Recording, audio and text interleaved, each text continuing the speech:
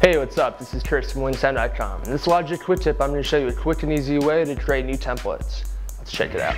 Basically, the idea of creating a template is to create and save the backbone of a session that you might use a lot of the time.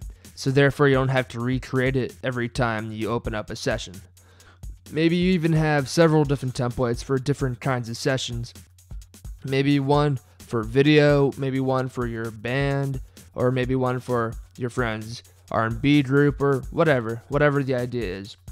So it's it's for can be for anything, whether or not you have general use three aux tracks, two MIDI tracks, like one software instrument track, or you like to have your piano roll open, or your mixer window open, or you like to have your loop list open, or a specific setting on your metronome.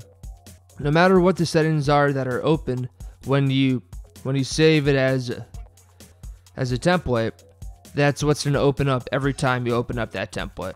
Okay, so to save a to save a new template is really simple. You just go up to file, go down to save as template. It's going to ask you to name it. I'm going to save it as template 1 and it's going to ask you where you want to save it. I just save mine in project templates because it's going to save them all in the same spot and it's going to keep it right in Logic so there's no way you can really lose it. So now go to save. Now I'm just going to close out of Logic for a moment.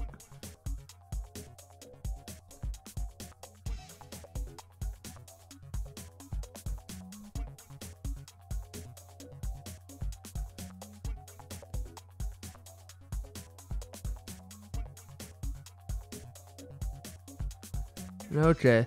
I mean, it did reopen this file, but say I was working on another another session in between, then I wanted to reopen this. I would just go to open.